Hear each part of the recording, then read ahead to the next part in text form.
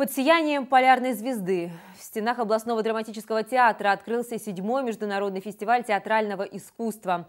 Он завершится в воскресенье 24 ноября. В программе выступления коллективов из Мурманска, Санкт-Петербурга, Москвы, Украины и Армении. Первый спектакль «Горячий август» питерского режиссера Дениса Замиралова о людях, потерявших смысл жизни и оказавшихся на пороге принятия решений.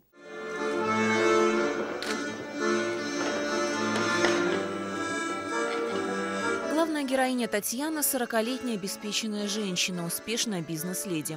Вернуться в родную деревню ее вынуждает болезнь матери. Здесь, в доме своего детства, в окружении самых близких и родных людей, женщина понимает, что не знает, как жить дальше. Горячий август – это звуки и запахи последнего месяца уходящего лета и состояние души Тани. Время остановки в пути и принятия решений. Что у тебя там случилось-то? Валь, все хорошо. Так все сказала, как будто что-то случилось. Все хорошо, Валя, не каркай. Танюха! Олег-то у нас богатей!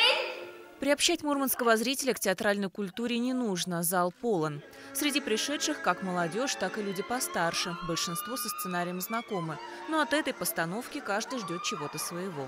Сегодня открытие сезона, то, что приезжие артисты, Санкт-Петербург. Ну и, конечно, мне еще понравилось, в интернете поискали отзыв о спектакле. Да. То есть очень хочется именно вот э, посмотреть, как раскроется тема 40-летних людей именно что-то новое и свежее. И первый раз в этом году идем, вот в этом сезоне идем в театр. Очень хотелось сюда попасть, именно на этот спектакль. Слышали, да, про него. Вот хотим посмотреть, насколько он молодежный, насколько отвечает ну, нашей сегодняшней жизни. Там, ну, в принципе, такая жизненная ситуация. Вот, хотим посмотреть. Проверить свои силы на сцене, познакомиться с творчеством коллег, обменяться опытом. Для участников фестиваля это событие гораздо больше, чем очередное выступление или гастроли.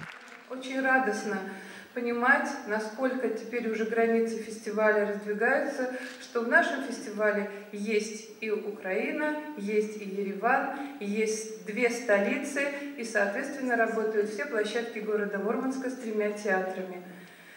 Фестиваль праздничен, и, ну, скорее всего, я не ошибусь, скажу, что он наряден тем, что он проходит в год 75-летия Мурманской области. Впереди еще несколько спектаклей как российских, так и зарубежных театральных коллективов. А кроме того, пресс-конференции, круглые столы, выставки и мастер-классы.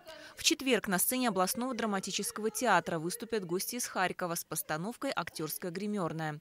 В пятницу московская труппа со спектаклем «Мужской род. Единственное число». А завершит фестиваль пьеса «Мир, дверь, мяч» в исполнении молодых мурманских актеров.